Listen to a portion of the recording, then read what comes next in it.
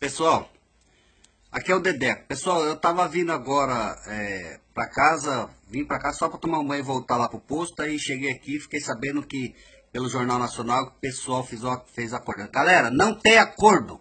Fiquem parados na pista. Vocês têm liderança sim. A gente, nós nomeamos aqueles caras para ir lá, para conversar com o governo e ver a proposta do governo e passar para a gente se a gente aceita. Eu peço para cada caminhoneiro, cada pai de família que está, que conseguimos parar o Brasil inteiro, estamos parados na beira das rodovias, que não se movam, continuem, continuem parados, porque se aqueles que estão lá fizeram algum tipo de acordo com o governo, sem perguntar para nós se nós aceitávamos, problema é deles. Aí o governo vai ter que daqui para frente negociar com a nova comitiva, que aí seremos nós que vamos lá. Somos nós as lideranças, beleza? O Dedeco, Plínio Dias e outros demais aí que não, não deixaram entrar na reunião, que não aceitaram é, a proposta do governo e saíram para fora.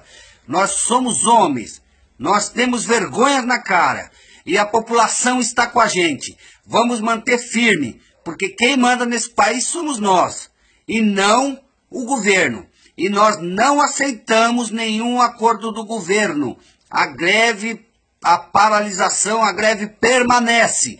Continue todos ancorados nos postos como estão em suas casas e nas empresas que a greve não acabou. O, a greve só vai acabar quando o governo atender as nossas pautas, as nossas reivindicações e colocar no diário oficial da União e, e, e ir na televisão com aquela cara lavada dele e falar: os caminhoneiros ganhou. Enquanto isso, enquanto isso nós ficamos parados, beleza? Porque é nós. Nós vamos vencer essa parada. Nós chegamos até aqui, temos a população apoiando e aqueles que estão comigo, que acreditam e confiam em mim, permaneçam parados. Não ande um metro, permaneçam parados.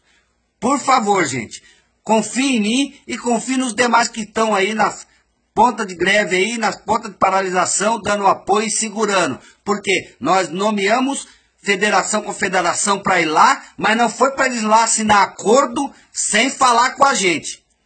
Antes deles assinar qualquer papel, eles tinham que passar para a gente para ver se nós aqui, nós, nós, nós que estamos aqui na pista, nós que estamos aí dando apoio e liderando de verdade, aceitássemos.